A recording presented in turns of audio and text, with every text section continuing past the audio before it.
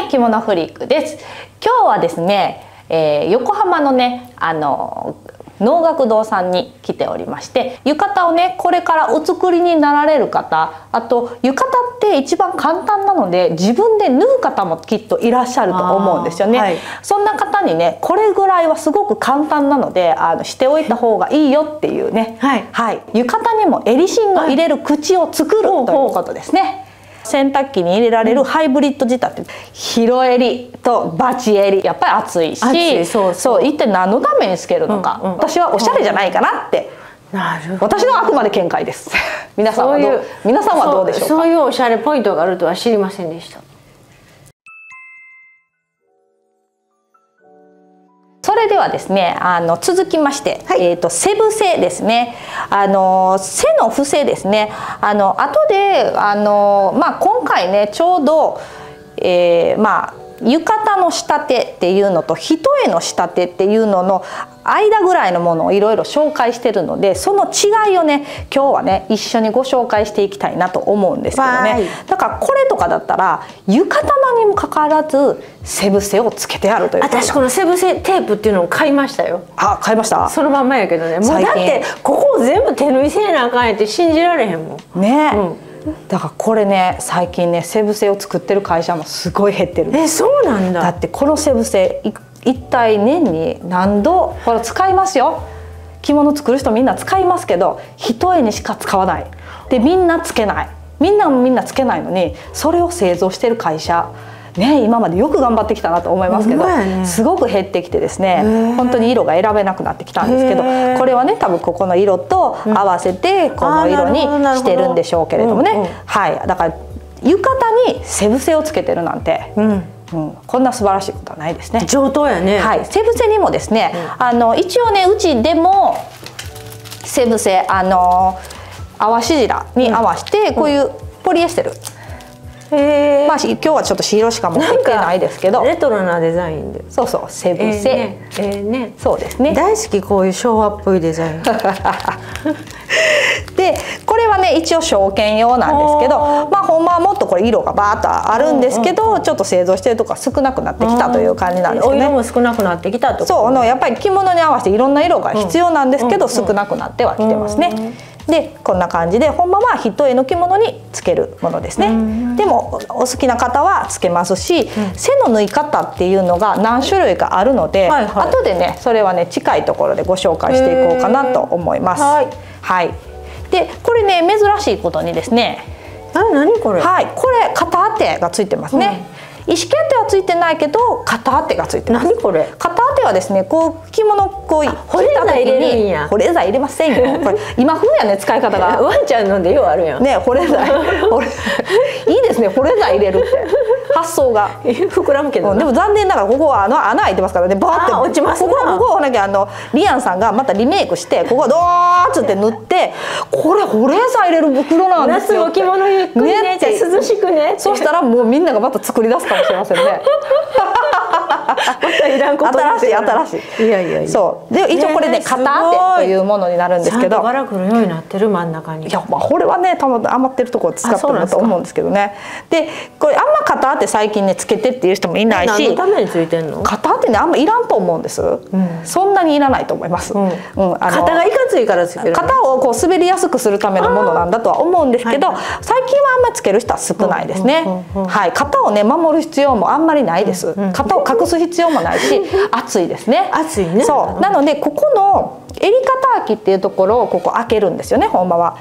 あのここねここだけすごくカーブになってるんです。だからすごくこの襟肩ってこう、解いたことありますこうなってなんかついてる。なんかこうピーって横に開いてますよね、うん、ピーってなってる。ピーってなってるやつね。そこね破れやすいんですとても、はいはいはい、そう。だからこれがついてない場合は力布っていうのがついてます。そうそうそうこれぐらいのちっちゃいやつ。ここに、うん、ここが破れないようにするために力が入ってもグイグイってやってもあの取れないようにするためにここに丸い力布がちょびっと見えてるものってありませんか？あるあるある。はい。それがついてる方がいいですねやっぱり。あでこれにはついてないのねこれはもうこいつがついてしまってるのでこれはついてないですけどはいこういうのがついてない場合はもう力布で十分ですね。はい。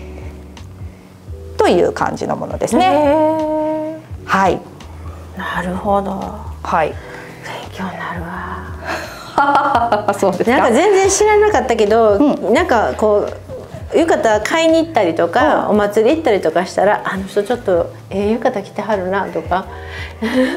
そんな見方したらあかん。パトロールになるな、うん、パトロールになるけどまあでもねあのおしゃれやなとか。外側からはそこまでわからないんですけど、あの自分が呉服屋さん行ったりいろんなねあのところに行ったりする時に、注文する時にあこっちの方がいいんだなとか、あのそういうのが分かって注文する。あと初めて自分が作る時にこういうふうに作ったら作りやすいんだなって。そう。う。ん、着やすいんだなっていうのを分かってて作る私っていうのがいいんじゃないかなと。初めて作ったんですよ、でもいろいろ聞かれても何にも答えられなくって でなんかここ「なんとか竹はなんとか竹は?」とかって言われて「ナスに仕立てる?」とかって言われて何にも分からなくって測ってくれよと思ったんですけど。あー結局ね、あの自分で寸法をお持ちの方はあの、全然寸法をこの寸法、もちろんいただくんです、じゃない場合はやっぱり身長と雪とヒップ、まあバストがすごく大きい方だったらバスト、私。ああのヒップだ。ヒップ。ヒブちゃんバスト。何？まあ一応ヒップあのバストもいただいて、はい。一応まあヒップで取らせていただきたいなと思うんですけど、あちゃんとそちらは測ってくださるんですね。そうですね、はいはい。でもあの例えば自分のうん今までおあつらいした、あの襦袢に合わせるっていうんだったらその襦袢のサイズ雪をね肩幅と袖幅をちゃんとあのお袖丈と聞いてそれに合わせるっていう押し立ての仕方。なるほど。そしたら同じ襦袢でいろんなおしゃれ楽しめるってこそうでとですすね。ねはい。次上がってくる浴衣もそのお襦袢に合うのでそういう方がおすすめですね。わかりました。でも浴衣ってあんまりねそんなに下に着ないと思うので。できるだけ涼しく着たい。そう。なんでまあもうそんな下に着ないわっていう人だったらもう毎回毎回体型も少しずつ変わるんだったらあのその時の体型に合わせてあのオーダーでね作ってもいいと思いますので、はい、ぜひ教えてもらいたい。はい。だから浴衣をこの間も着たんですけど、はい。なんか和装ブラつけて、でこう半襦袢着て、捨ててこ入って、で浴衣着たら暑いやんってなったんですけど、どうしたらいいんでしょう？暑いです暑いです。暑いですおしゃれは我慢せなあかんのですか？そうですか。おしゃれは我慢ですわかりました。はいあのでやっぱりですねね着物をノースリーブにすることもできませんし、はねやっぱりこうなんて考えてみてください、はい長袖着てるんですこれそうですよ。ま夏ですそうですよ。そうですよ。ねえ10メーターぐらいの布をまとってるんですよね。で一応ねあの何でも時代に合わさって変わってくるのに、はいこちらは変わらないんです。ね、そろそろノースリーブの着物が出てきたっておかしくないのにそうやね。出ないってことは、暑いまんまなんです。これだけは変えられないんです。なんか工夫できることってないそうで裾まであるんですよ。そうですよね、暑い子はこんなね短パン履いて足出してうんしてるけど、これ短パンできません。はい。ねはい。できないんです。あ、わかりました。もう涼しくできないだからもうできる限り、あの快適素材をそう快適素材もそうやし、暑いんが本当に暑いっていうならば、綿綿100より綿朝にしてみるであるとか、そういうふうな工夫はできるし中を、まあ、冷却とかそういうような冷却速乾の肌着のキャミソールタイプとかそういうのに変えてみるとか。ああ、なるほど。そうもう補正はしないといけないけどもう夏はもうしょうがない、うん。もう着崩れても、もう涼しい優先っていうならばもうしなくてもいいと思います。あじゃあ、もう今まで着てたような綿の半襦袢とか綿の 捨ててこう、とかこうお腰とかじゃなくて快適素材で今風のものでね。下着のようなもので、うん。少しでも快適に。快適にっていうぐらいしか仕方がないですよいやでもね。結構おばちゃんやんかそやからそういう新しいものを入れるっていう頭がないんですよ。ああそうですよね。習った通りの着方をしちゃうんで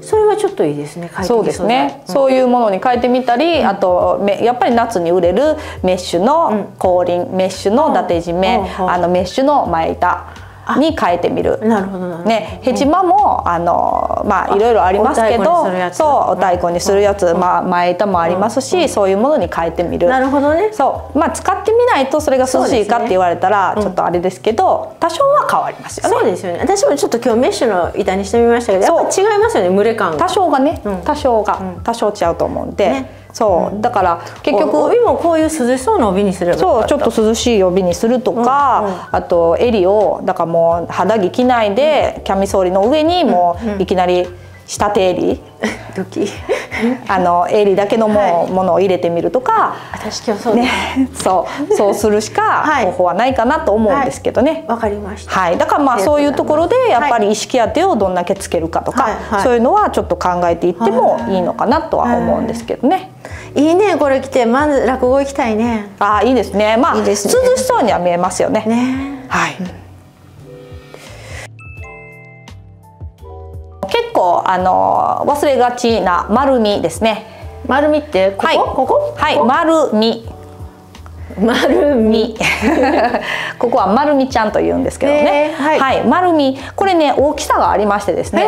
はい、この大きさね五分っていう大きさですね。五はい。五分という大きさになるんですけど。五えっ、とね五分一寸とかあはいはい。八分とか昔の。一寸二とかいろいろあるんですけれども。一寸の下の単位がブーなんですね。ブーなんですよね。はい。で、大体お着物、普通の顧問のお着物、訪問着のお着物とかは大体五分にします。でちょっとあの、まあ、大人の上品な方は大体皆さん五分がお好きな方が多いんですけども、例えばもうちょっと可愛らしく見せたいなとかあと振り袖って結構丸み大きいの分かりますか？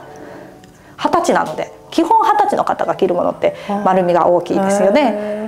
知らない。あそうなんです、ちょっとね若い方丸,、丸みを大きくしたりとかするので、浴衣もですね例えばちょっとこういう若々しいデザインの浴衣とかだったら少しこれ丸みが大きいの分かりますか？あわかる。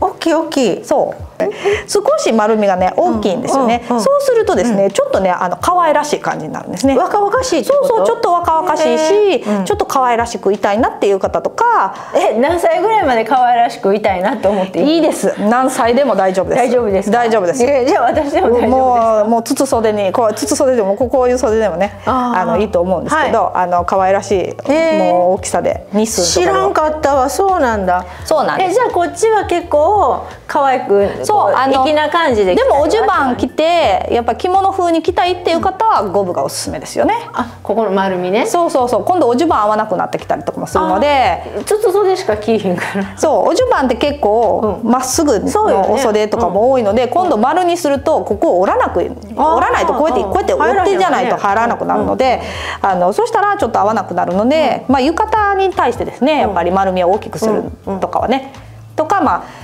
まあ、おお振り袖とか、うん。ね、二尺袖とかは別ですけど、うん。こういうのはちょっと丸みをね、うん。好きな形に好きな大きさに決めてっていう感じですね。ねはい。ハイカラーなんで模様で可愛いね。ね可愛いの若々しいね若々しいこの人手ちゃんみたいなのもなんかちょっと可愛い。なんか今風じゃない？そうそうこれもねあのこれでもプレタですね。ね。プレタ？プレタ。あのプレタっていうかもうあプレみプレタよかった。そうそうそうそう。そうあとですね、はい。あの仕立て方、はい。でえー、とこれねあのかなり裏技ではないんですけど、あの男の人でも女の人でも、うん。外国人みたいな体型の方っていらっしゃるんですね。あお腹例えば出てて足すっきり。そうお腹が結構出てしまってて足が足首に向かって細いっていう、はいはいはい。男の人結構います、うんビールパラっていうやつね。そう何詰まってんのっていう人いると思うんですけど、あのそういう人に対してですね、すっきり見せる方法があるんですえ聞きたいわ。おばちゃんでも大丈夫？大丈夫です。教えて教えて。大丈夫です。教えて。それはですね三部カットっていう仕立て方が。仕立て方で？仕立て方なんですよ。えどこ？えっとですね基本的にはほとんどあのまあ後ろ幅って言ったらこのままズドンとまっすうん。ぐ裾まで一緒なんですうん。そうそう。一緒なんですけどそそこを狭めていくってことです。うそうなんだ。三部カットってでも畳んだ時にも裾はすぼまってます。じゃあお仕立ての時にちょっとう。ちの主人ビールっ腹やからすっきり見える仕立て方にしてって言ったらいいそうですそうですそうです。だからそうすると男の人とか結構裾をもうこうやってした時点普通にした時点ですぼまってるのでだから結構すっきり見えるんですね。ここら辺がすっきりよね。そうここはゆったりとここら辺がシュッとそうですよね。シュッと見えるということですね。はい。なのでそういうお仕立ての仕方もいろいろあるんでね、あのでも一番、うん。一番仕立てにくい体型の人っていうのがいるんですよ。どんな人？手がすっごい長いけど今時の若い子や。すっごい細い人。今時の若い子や。そう。へえ。着物ってあんまり斜めにブーンって縫うことができないんですよね。手長かってもここってさ着物の反物の幅しかないもんねまあそれももちろんやし、肩幅と袖幅の出せるものっていうのも決まってるんですけどでも身幅が細いってことはここが細いんですよね、ここが細いにもかかわらずここは上がってこないといけないのに手が長いってことは手が長いってなるんですよ。そうなるとここのこう斜めにいける度合いってある程度決まってて。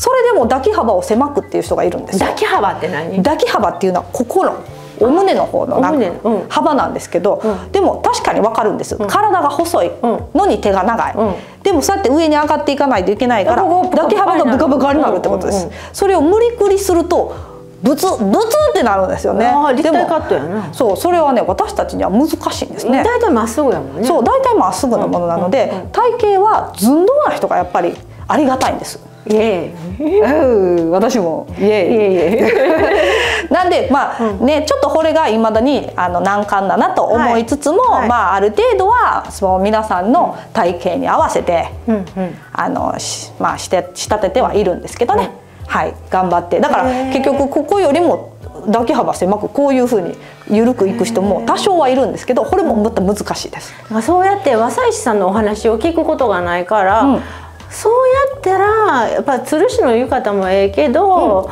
うん、あのフリックさんのこ反物で売ってはるやないですか、はい、そういうとこでちょっと相談したら今風の手の長い人とかちょっとここがこうなのという人も加減できるよってお話聞けるかもしれない。そうですね。やっぱりね私たちはそれぐらい考えてあの仕立てをしてるので、うんうん、やっぱりこの辺の吊るしの浴衣で、うんうん、なんか着にくいわって、うん、それは当たり前でしょっていう話なんですよね。ね。やっぱり自分の体型、あの人の浴衣を着てもサイズはみんな違うし、やっぱり自分の体型に合わせてマイサイズの浴衣を仕立てるっていうことがやっぱり一番いいですね。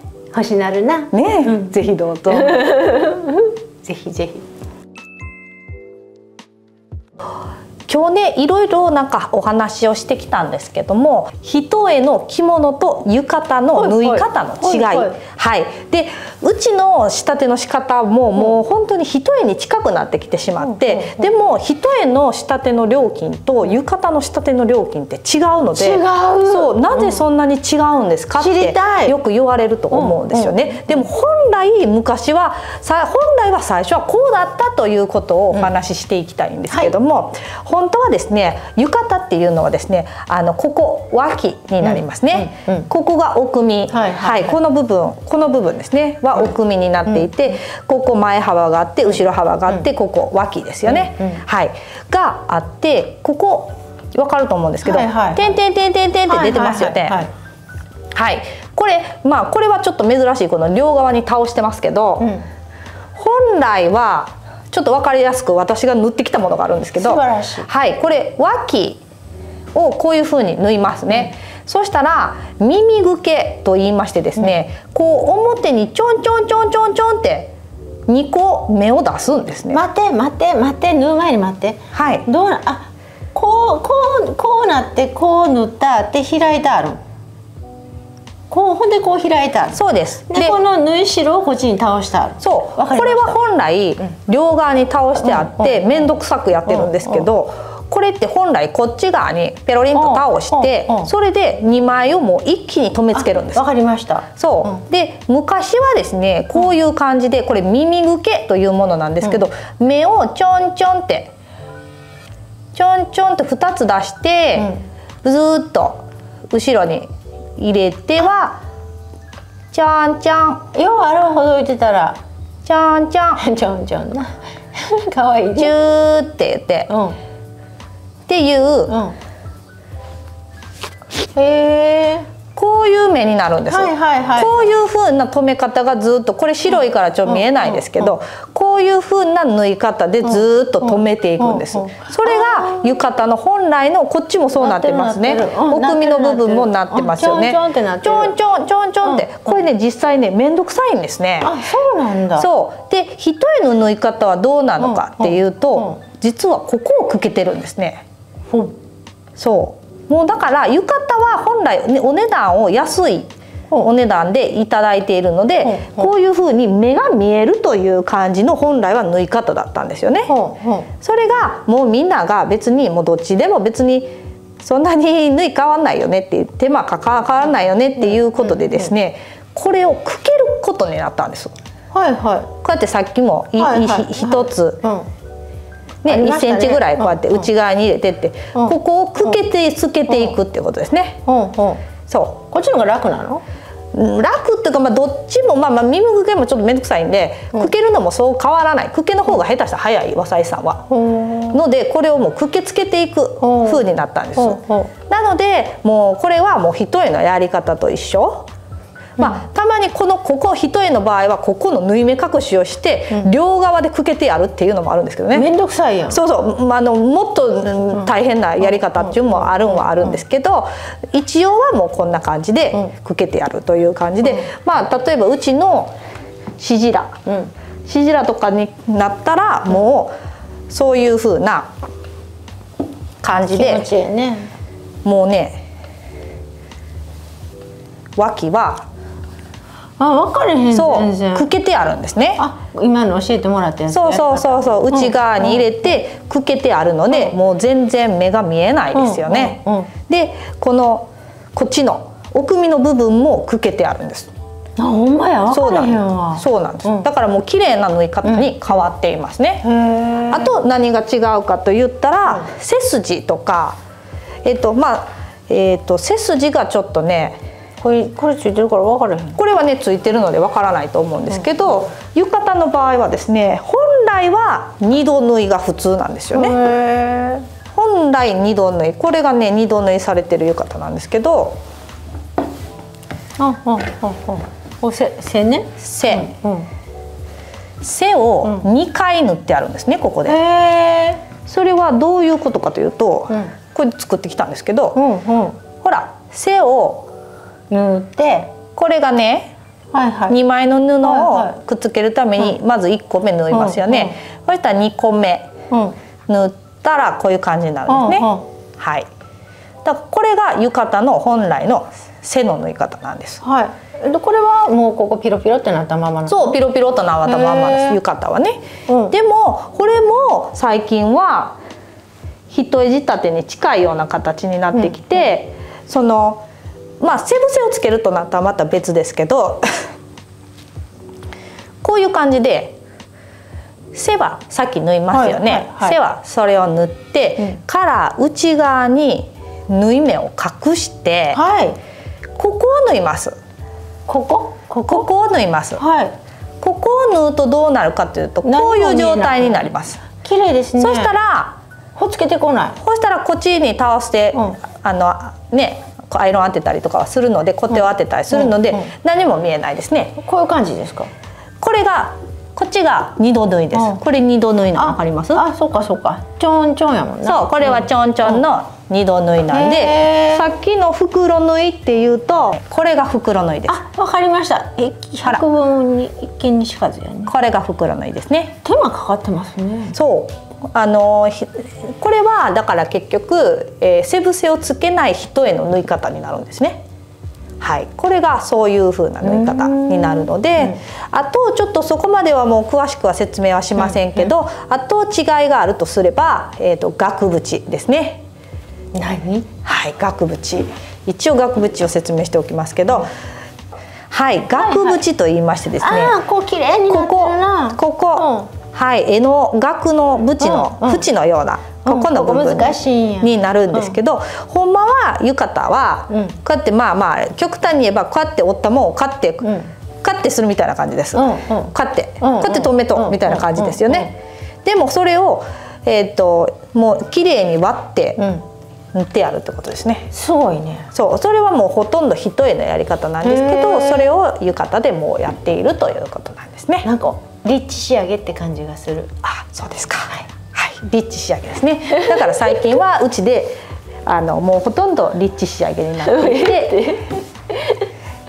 ちょっとこれ私が下手くそすぎてちょっともう悲しくなるんでもう今日見てあれ？こんなんだったっけと思ったんですけどちょっと眠たい時にやったんで。あの一応はあのこれが浴衣の目なんです。はい。浴衣とか合わせの着物は、えー、と一応は私たちの業界ではですね和装仕立て業界ですか？はい和装仕立て業界ではね、はい、シノ酸という針を使うんですね。ああそうそう。私もこう和張り買おうと思ったらシノ酸とかシノゴとかはい、3のなんとかとか。はい。私たちの業界では大体私はシノ3なんですけど、はいはい、シノ2っていうのもあるんですけど、はい、針の長さの違いなんですけどね。私はシノ3をいつも使ってます、うん、でシノ3の針目、うんシノ3の針目に対してまだ大体これ1寸ぐらいなんですけど1寸ぐらいに対して大体、えーと、8から8 1 2 3 4 5 6 7 8 9 9、うん。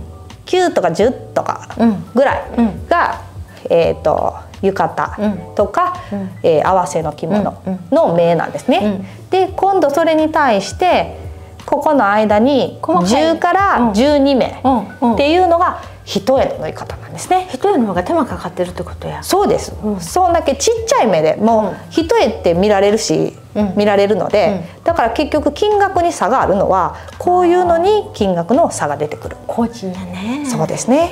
そう。だからそれを多分分かってる方はいらっしゃるかどうかは分からないですけど教えてもらわないとこんな目の大きさでわかんない。そう、私たちはこういうのを日々やっています。ありがとうございます。はい、そうなんです。勉強になりましたね。すみません。はい。めっちゃ映ってる。はい。なのでね、うん、あのこういういいねいいね 逆にねミシン目あの、はい、要あるプレタですよね、はいはい、やっぱプレタとかだったらほらこんな風に、うん、もう脇のとこもバンバンバンバン目が見えてしまったりとか脇ってここ？ここ見圧になるんですけどね、はいはいあもうこれほどいてリメイクするの一番嫌いなやつや。そうなんですよね。簡単にはしているとはいえ、うん、やっぱりねちょっとなんかなしたてがちょっとなっていう感じはありますよね、まあ、若い子っぽくて、ね、いいのはいいですけどね、うんうん、もう背筋もこうやってこうねロックミシンかかってしまってますからね、うんうんうん、まあほっとけてこないね。いいんですけど、やっぱりねこの辺がちょっとねプレタやなそうプレタやなっていう感じのイメージですよね、えー、やっぱりね、洋服に近い感じやね。そうそうこれこれもさっき言ってたよね、はいはい、あのあ襟の下がないやつよね。ただ折って折り込んでるだけのっていう感じやね、へえ。そうちょっとやっぱり手縫いのものよりは寂しい寂しいかなという感じですかね。なるほど。そういうかあここもやね。そうここもだからやっぱりガンガン見えてしまうんですよね。ああなるほど、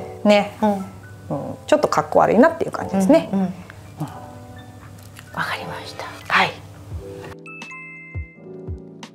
このね、うん、脇のこの部分、すごくねすごく破れやすいんですよ。うん、で昔私らの時代は笹笹ヘリとかいうね縫い方があって笹ヘリ笹ヘリって言って、うん、この生地生地の余ってる部分自体をここへもう縫い縫い付けるみたいなのがあったんですけど、えー、でもねちょっとなんかついてんなみたいになってかっこ悪いんで、もう最近主流はこの虫止め。ここに虫がちっちゃい虫がちっちゃいちっちゃいちっちゃい虫が。あなんかおるなんかえー、どうなってんの？そう。ちっちゃいちっちゃいちっちゃい虫が止まってるみたいになってますけど、うん、その止め方が主流なんですけどね、うん、でついてないものもあるので結局後からあのこれぐらいはねできるのでね。皆さん後でねあのもしもちょっとやってしまいそうやなそうやってしまいそうやなっていう時は自分で先つけておいてもいいかもしれませんね。なるほど。はいじゃあ今から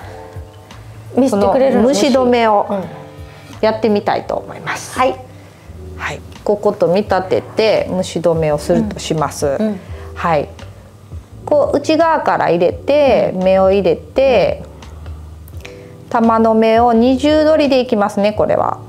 はい。はい二重取りでいきます。ほんでこっち側の布にも、うん、はいちょっと本来はこうく規制がかかってるのでこの玉留め見えないと思うんですけど、うんうん、こうやって入れます。うん、はい。うんた二重取りなので、うん、この糸をちょっときれいに合わせて、うん、ここで針を持って、こうかけます。はい。かけます。はい。一回。へえ、編み物みたい。二回。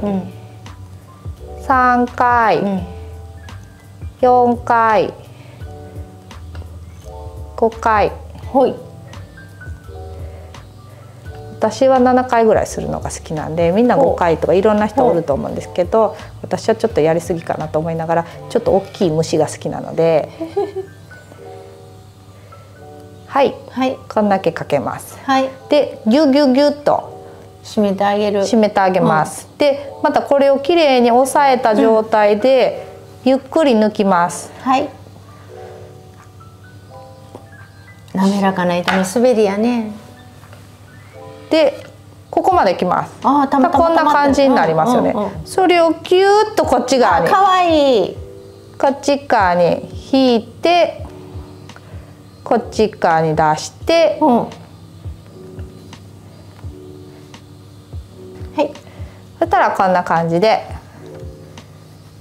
あんまああんま美しくないけど。まあこんな感じで、うん。うんあかわいいかわい。いはい虫止めができますので。しっかり丈夫なんだ。そうですね、しっかりなりますので。ね、はいこれをですね結構たくさんしないといけない。こっち側とねこっち側。よ4箇所ぐらいはしないといけないんですけどまあすぐできるので。え和裁師さんって大変ですね。え？そんな面倒くさい。いや私のは洋裁の方が面倒くさいなと思いますけど。えそうですか？面倒くさいなと思いますけミシンど、ね、でガーっていっちゃうから。えー、これぐらいは全然簡単かなと思うんですけどね。どうでしょうか？先ほどまでねあのリアンさんとねあの今日はねあのね猫ちゃんとワンちゃんのあのジンベエからのリメイクのねあのお洋服の動画をねあの今日今回は撮らせていただいてあのね一緒に作らせていただいたんです。です。はい、はい。ねぜひねあのその内容まあうちでもアップはすると思うんですけどあのリアンさんのところはねあの作れるようにね動画になってますのでね。はい頑張ります。はい、あのお着物とかあの帯からのねリメイクのね動画もねたくさんもうまあね私もうチャンネル登録者数が全然あのもう本当にいやいやいやねあれなんですけれどもあのまあ有名な方でいらっしゃるんですけれどもねいやとんでもない今日はね一緒に動画を撮らせていただいたのでねぜひねあのまだまだあの見ていないっていう方がいましたらぜひねよろしくお願いしますあのリアンさんの動画をねあの見ていただきたいと思います詳細はねあの概要欄に貼っておきますのでねぜひご覧くださいじゃ今日はリアンさんどうもありがとうございましたこちらこそ勉強になりましたいろいろ質問いい質問をいやもう分していただきありがとうございまし前かちょっと気になってたのと全然知らなかったのとあって、うん。また機会があったらぜひ教えていただけますか？なんか教えれることがあれば、まあ、和裁のことについてしかわからないんですけど、うん。うんなんかねあの、皆さんのね浴衣の今後おつ、おあつらいする自分で作るっていうののためになんかあねなればおあつらえって怖いような感じがするんで初めてのおあつらえとかね。ああそうですよそういうねのとか面白そうですね。ね、ん。そうですね。結構淡し白とかは初めてのマイサイズ、あの案外値段が安いので、する方も多いんですけどね、あのどんどんこうなんていう自分の体型はこうなんですって心配事がこれなんですっていうことをね、いろいろあの聞いていただけたらねいろいろね相談乗れると思いますので。そうですか、はい。あの出店情報とか教えていただけますか？今後の。えー、出店情報何に出るかえな着物サローネは？出るあこれは出ます。うんあきっとあれは今年の春秋秋。秋は出ます。秋の着物サローネに出てるんですね。はい出てるのでじゃあねフリックさんに会いたい人は秋の着物サローネと、あありがとうございそます。の次のコットーグランデ。コットグランデそうコットグランデの方が先であすよね。私と近所にいますんで、ねコットグランド。そう、はい。その時はお仕立てはないのねそうですね。そこはねあの古いあの、ね。アンティークもをね久しぶりね。久々に持っていこうかなとじゃあ思ってるので。初めてのお仕立ては着物サローネで、はいサローネでね。はいまたお願いしたいとは思いますが、はい、グまたねではちょっと癖のあるのを見せて癖のあるのを 見せていただけるような予感がします、はい。でじゃあねあの、まあ、今回もねあのご視聴いただいてねありがとうございます。このチャンネルがいいと思ってくれた方はグッドボタンとチャンネル登録をお願いいたします。